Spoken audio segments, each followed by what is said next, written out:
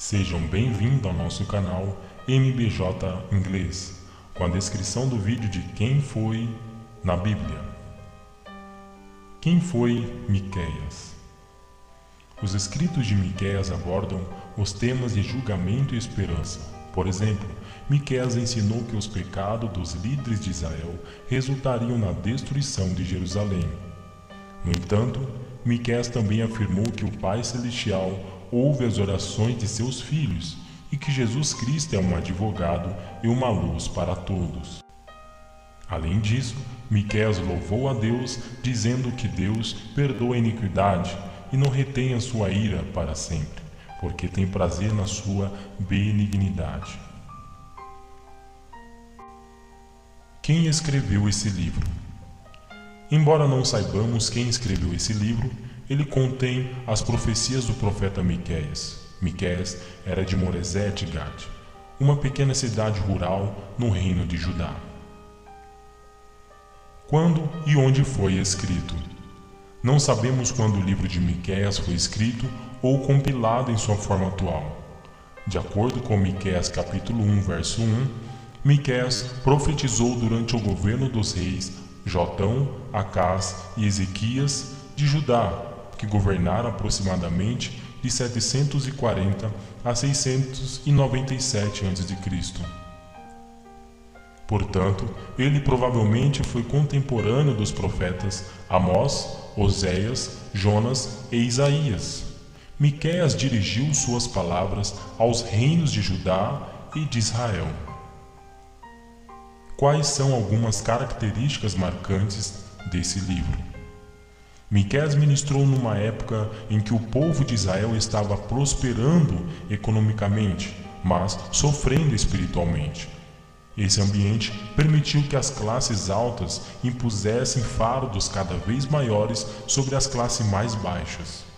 Miqueias estava particularmente preocupado com a opressão dos pobres pelos ricos e considerou essa injustiça como um dos maiores pecados de Judá e de Israel.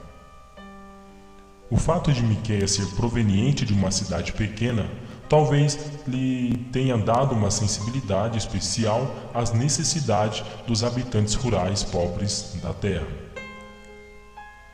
Miqueias é o único livro no Velho Testamento que identifica Belém, uma cidade pequena entre os milhares de Judá, como lugar onde nasceria o Messias.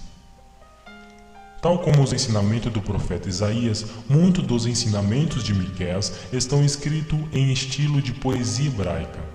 A profecia de Miqueias sobre a destruição de Jerusalém foi relembrada vários anos depois, na época de Jeremias. Resumo: Miqueias capítulo 1 ao 3, Miqueias profetiza sobre os juízos e a ruína que recaíram sobre os israelitas, inclusive aqueles que moravam em Samaria e em Jerusalém. Miqueias identifica os pecados da idolatria e da opressão dos pobres pelas classes altas como as razões da destruição iminente dos israelitas. Também condena os líderes religiosos corruptos que ensinavam por dinheiro. Miqueias capítulo 4 ao capítulo 5, Miqueias profetiza sobre a restauração de Israel. Também profetiza que o Messias nasceria em Belém. Miqueias capítulo 6 ao capítulo 7.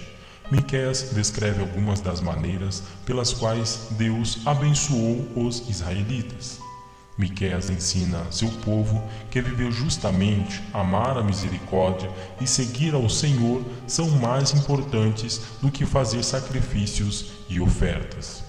Miqueias testifica que Deus é compassivo e perdoa os pecados daqueles que se arrependem. Que Deus abençoe a todos. Creio que essa explicação, esse resumo deste livro, entra no seu coração entendendo que arrepender. Se arrepender é o mais importante na nossa vida. Buscar a Deus é o mais importante na nossa vida. Ajudar ao próximo, amar ao próximo, como a nós mesmos, é o mais importante nessa vida. porque as demais coisas vão ser acrescentadas apenas se eu focar em algo que vai facilitar a minha entrada no céu. Que Deus abençoe a todos, curte, compartilhe, não esqueça deixar os comentários, deixar o sininho ativado. Que Deus abençoe a todos para que nós possamos gravar mais vídeos, editar. Precisamos de tua compreensão, curtir, compartilhar, comentar. Que Deus abençoe a todos, que o nosso Deus acompanhe a tua vida. Em nome de Jesus. Amém.